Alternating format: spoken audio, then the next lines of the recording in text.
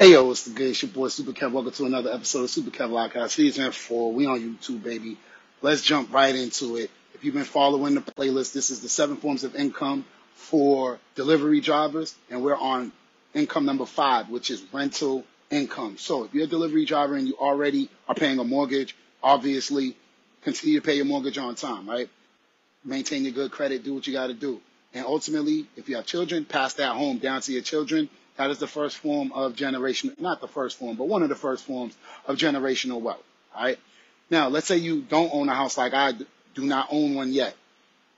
I've been explaining to y'all, I've been getting creative in the stock market. So I invest in real estate stocks. Feel free to um, watch those episodes to see which ones in particular.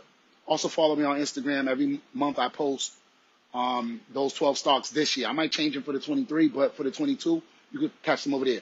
But you can also invest in some um, car real estate stocks if you want to get technical. So the U.S. government pays a tax, so you can invest in that stock, DEA, I believe. Again, it's not financial advice, entertainment purposes only.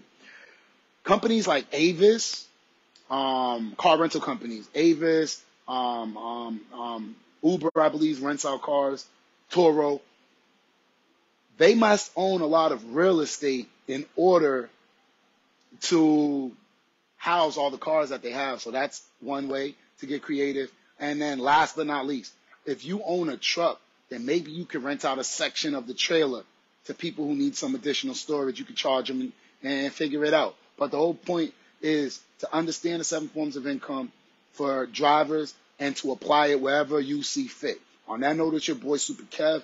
As long as I'm a live, there will be a live. As a matter of fact, I'll probably be back in about 20, 30 minutes and we'll talk about some capital gains. You already know what it is. I love y'all. Peace mode.